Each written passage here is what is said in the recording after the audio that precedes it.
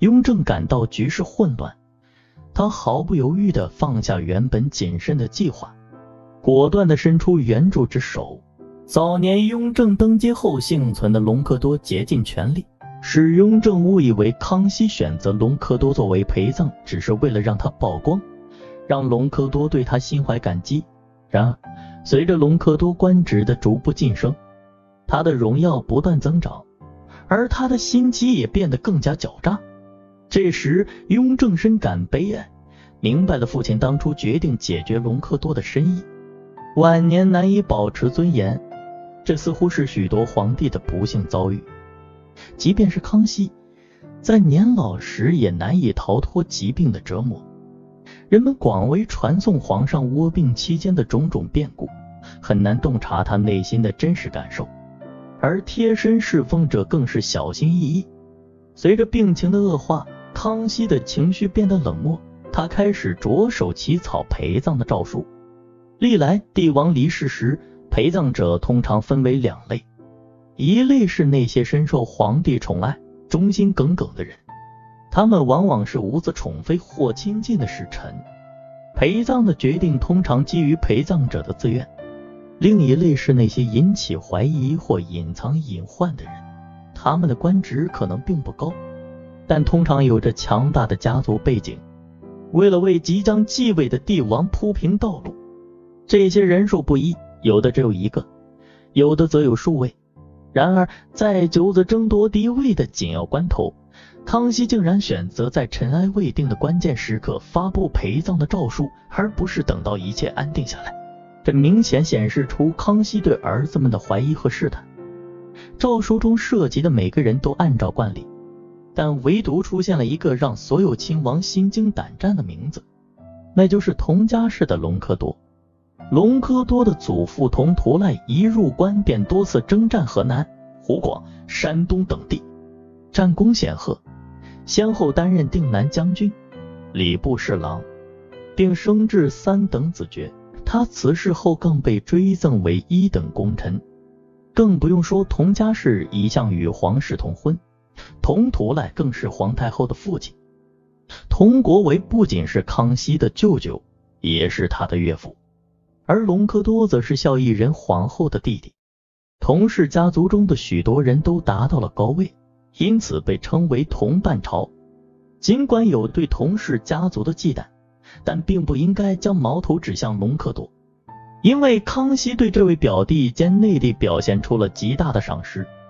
康熙甚至将步军统领的重要职位委派给了隆科多，这相当于京城卫戍司令。他对隆科多的表现给予了高度评价，称其与大阿哥关系良好，众人皆知。至于隆科多是否真正效忠于大阿哥和康熙，在夺嫡之事上则是另一回事。胤禛得知这一消息后，并未像隆科多那样感到惊慌。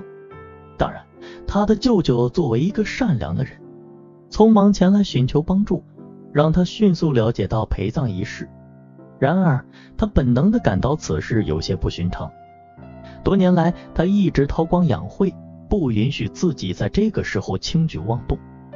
他只好安慰隆科多说：“也许康熙只是试探舅舅的忠诚。不久前，康熙曾经对隆科多说过：‘你只需要端正行为，勤勉努力，获得好名声很难，招致坏名声却很容易。’对于兄弟、儿子。”侄子和家人的言论不要轻信。显然，康熙将隆科多视为可信赖的忠臣良臣。然而，在胤禛想出应对之策之前，宫中传来消息，康熙发布了第二道诏书。陪葬名单经过调整，隆科多的名字仍然榜上有名。此时，他渐渐明白了康熙的真意。如果隆科多或其他皇子都没有站出来表态，那么隆科多注定无法幸免，其他人可能对此一无所知，但胤禛暗中洞悉一切。隆科多担任步军统领的职务，责任是保卫皇城，直接守护康熙帝的人身安全。这个职位象征着隆科多必须时刻与佟家氏和其他亲王保持距离，不结党营私，只忠于康熙。在看着眼前神情惶恐的隆科多时，胤禛权衡利弊，是舍弃隆科多这个棋子，继续伪装，还是出手搭救，正式亮相？放弃隆科多并非上策。一方面，陪葬名单确定至正式陪葬还需一段时间，不能忽视隆科多可能反水，揭露两人的过往；另一方面，他被康熙帝委托监视正被圈禁的大阿哥。废太子和京师内其他的王公贵族和部院重臣，其中必然涉及未透露的重大秘密。此旅间，胤禛毅然进入宫中，他没有暴露自己的野心，只以关切父亲和国家安危为由，向康熙表达了自己对隆科多被陪葬的担忧。他坦诚地表示，隆科多作为步军统领，负责守卫皇城，若他被陪葬，可能会引发一系列的变数和不稳定因素，对皇家和国家安全构成潜在威胁。胤禛强调隆科多的重要性，以及他在守卫皇城和维护安全稳定方面的能力，同时提到康熙对隆科多的赏识和信任。他请求康熙考虑重新评估陪葬名单，以确保皇城的安全，并保持对隆科多的信任。康熙对胤禛的观点表示认同，并对他的关切表示感激。他同意重新审查陪葬名单，并表示会仔细考虑胤禛的建议。康熙对胤禛的坦诚和忠诚感到满意，并表示他重视胤禛的意见。最终，康熙在重新评估后决定将隆科多从陪葬名单中移除，保留他的重要职位作为步军统领。这一决定既保证了皇城的安全，也体现了康熙对隆科多的信任和赏识。胤禛的行动显示了他作为一个聪明、谨慎的皇子的特质。他善于权衡利弊，明智的利用他的影响力来保护自己的盟友。这个事件也进一步巩固了胤禛在康熙心目中的地位，为他未来的发展奠定了基础。众人惊讶地发现。胤禛原本并没有抱太大希望，但康熙却出人意料地听取了他的建议，不仅撤回了隆科多陪葬的决定，还晋升了他的爵位，直接提拔他为顾命大臣。此后，隆科多对胤禛更加亲近，他们之间的关系就像亲旧生一样。胤禛看到这一情况，更加坚定的认为自己并非康熙当初预期的人选。或许他怀疑隆科多与其他亲王有所勾结，但并没有怀疑到自己身上。